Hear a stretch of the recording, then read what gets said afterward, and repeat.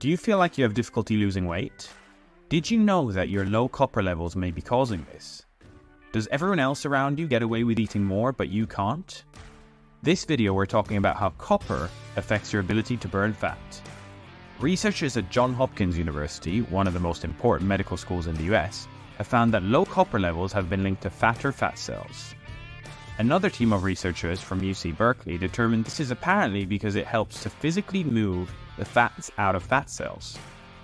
This explains why a symptom of low copper can be feeling cold often, because you can't use your body fat for energy. In fact, the amount of copper in the diet of cows affects the amount of fat in the final meat.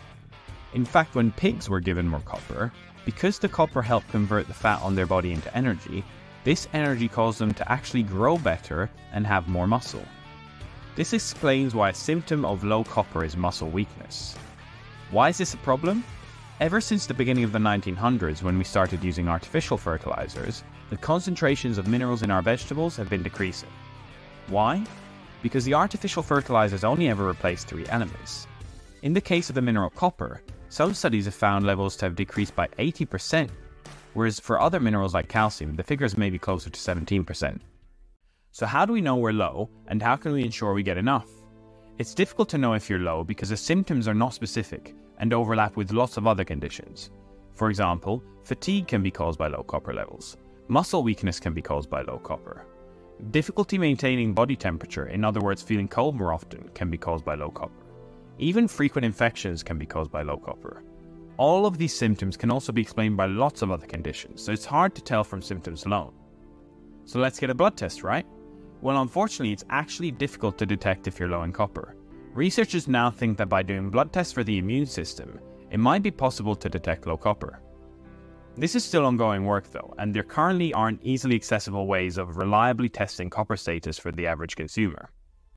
Okay, so if we can't test low copper, maybe we can just make sure we get enough copper from food.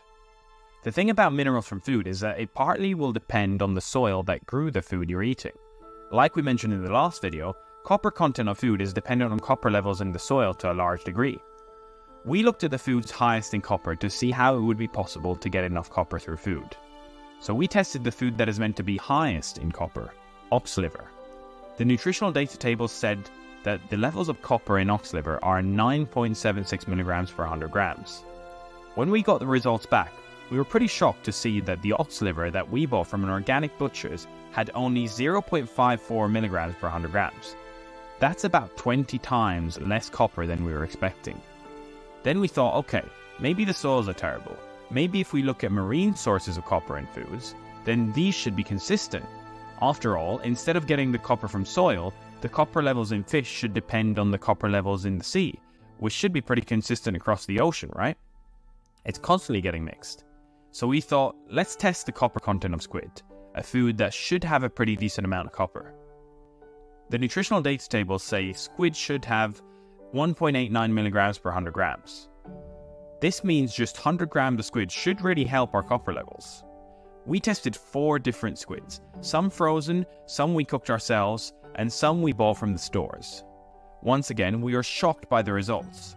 One sample of squid had less than 0.06 milligrams per 100 grams. That means it was at least 31 times less than what the nutritional data tables say. Okay, but what about the highest result we got? Even that had about 0.3 milligrams per 100 grams. This means it's about six times lower than the nutritional data tables.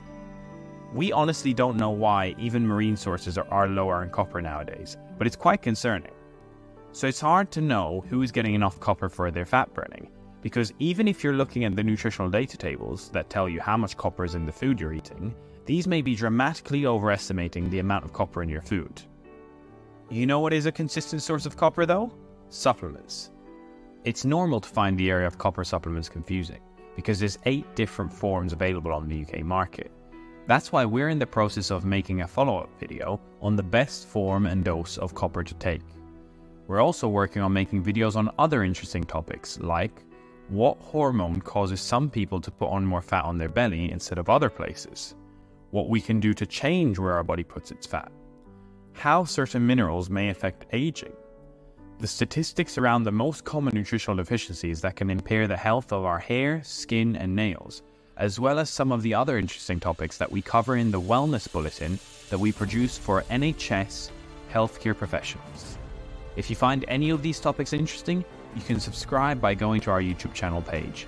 Or the best thing to do is to sign up to our newsletter at the bottom of any of the pages of our website, so we can let you know when a new video is out. The link to our website is on our channel page. Like with all our videos, you can also find all the original sources of our information in the description below.